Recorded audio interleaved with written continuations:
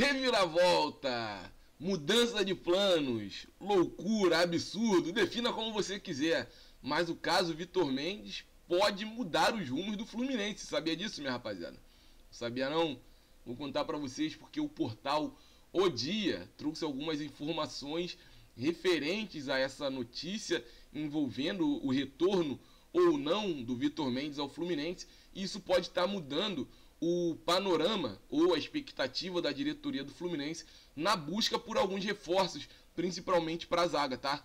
Então a gente vai trazer para vocês essa matéria completa. Quer saber de tudo sobre isso? É só você ficar aí do outro lado e não meter o pé. Fica aí do outro lado que tu vai saber tudo sobre esse caso Vitor Mendes, porque me preocupa, tá? Eu fico preocupado.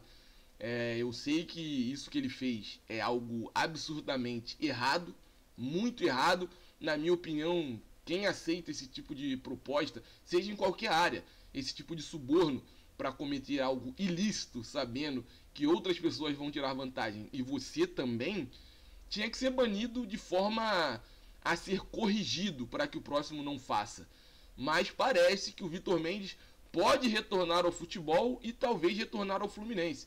E retornando ao Fluminense, isso muda a nossa perspectiva e a nossa visão sobre contratações para essa linha de zaga do nosso tricolor. A gente vai trazer a matéria completa para vocês que estão aí do outro lado.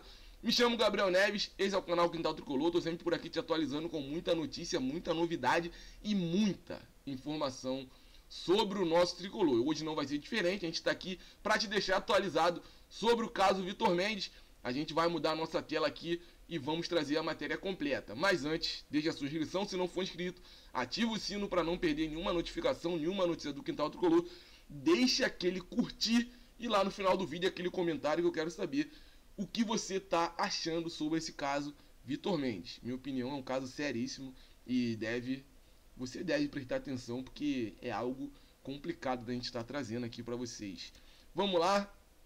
Portal O Dia, como eu falei, trouxe a manchete. Fluminense aguarda Vitor Mendes para definir sobre contratação de um zagueiro. Isso aqui já me preocupa. Já me preocupa muito. Jogador propôs acordo com o Ministério Público de Goiás para, para colaborar com investigações sobre manipulação de jogos. Se isso aqui não te preocupa, eu não sei mais o que vai te preocupar. O cara propôs um acordo com o Ministério Público de Goiás. Mas vamos lá. Aqui é a fotinha do Vitor Mendes. Afastado pelo Fluminense desde o dia 10 de maio, após ter seu nome envolvido nas investigações da Operação Penalidade Máxima 2, Vitor Mendes ainda pode vestir a camisa do Fluminense. O problema é que essa indefinição também deixa a diretoria tricolor em compasso de espera em relação à busca por um novo zagueiro para o segundo semestre. Apesar de reserva, o jogador vinha agradando bastante a comissão técnica e por isso o Fluminense ainda aguarda o desenrolar da situação dele na justiça. Após inicialmente se dizer inocente, Vitor Mendes admitiu culpa e propôs um acordo com o Ministério Público de Goiás que investiga os casos de manipulação de jogos no futebol brasileiro. Aqui está dizendo, ó, jogador vinha agradando bastante a comissão técnica. E por isso o Fluminense ainda aguarda o desenrolar da situação dele na justiça. Ou seja, se o Fluminense aguarda, é porque tem a expectativa de que o cara retorne ao seu elenco. Aqui está dizendo que ele foi aproveitado, mesmo sendo reserva, e que vinha agradando, cara. Vinha realmente. Não discordo dessa parte.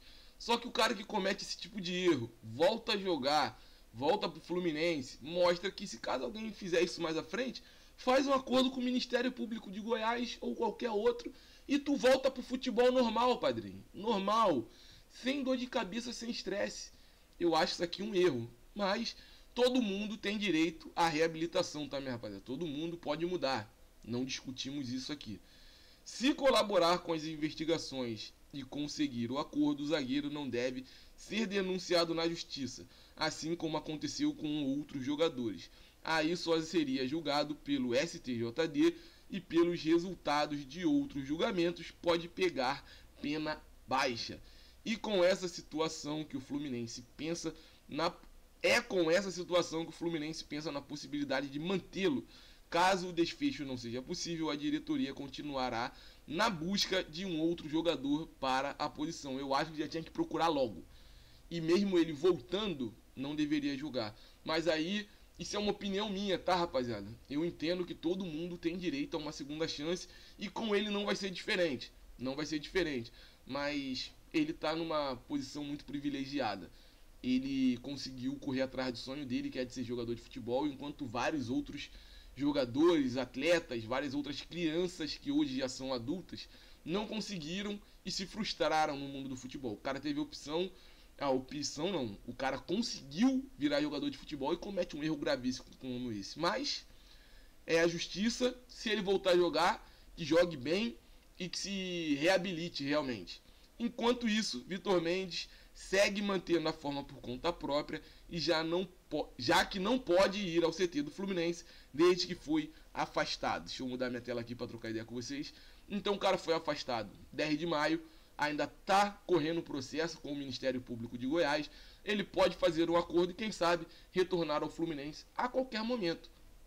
Basta sair esse acordo com o Ministério Público de Goiás, ele ser julgado pelo STJD e de repente ele pode pegar uma pena de um jogo, dois jogos, três jogos, ou que pegue de 10, mas aí bota, ah, pegou 10 jogos, mas ele já ficou fora de 10 jogos, então volta a jogar amanhã. E isso pode mudar o panorama do Fluminense em relação à busca de contratações para a zaga. Como eu disse, eu torço para que o Fluminense busque logo, mas sei também que o Vitor Mendes, assim como qualquer outro ser humano, tem o direito a uma segunda chance, a reabilitação, e eu quero saber de você. Torce para que ele volte ao Fluminense para que ele não volte ao Fluminense, para que ele seja realmente afastado do futebol de vez? Qual é a sua torcida? Deixa aí no comentário que é muito importante pra gente.